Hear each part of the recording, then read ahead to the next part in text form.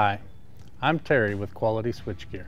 This video is intended to assist you with identifying the characteristics, features, and accessories installed on the Siemens Cubicle Bus WL circuit breaker.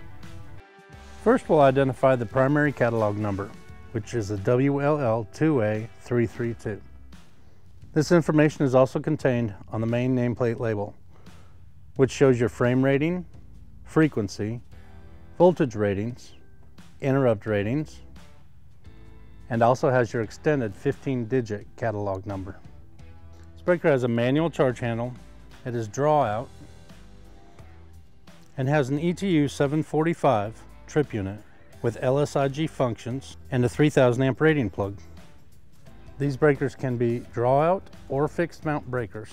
Shown on the bottom of the circuit breaker are your accessories that are installed to include charging motor, remote close, first and second shunt trips, UVR, remote reset, ready to close switch, first shunt trip switch, UVR switch, open fuse switch, auxiliary switches, and bell alarm.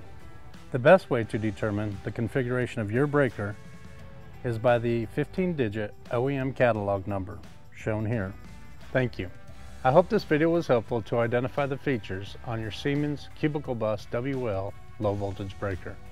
And remember, for sales, service, or technical assistance, please contact Quality Switchgear at 800 421 5082 or qualityswitchgear.com.